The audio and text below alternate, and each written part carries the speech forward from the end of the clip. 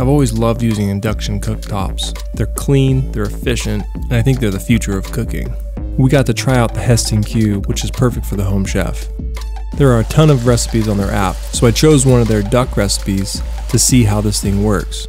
This recipe walked me through how to make a burnt honey ginger glaze, and then allowed me to pick the thickness of the duck and the level of doneness, and it did the rest. There are actually sensors built into the bottom of this pan that allow it to monitor and control the perfect temperature, so you get a perfectly crispy skin without overcooking the inside. I think this is a great tool for home chefs who want to learn different recipes and different techniques and make restaurant quality food at home.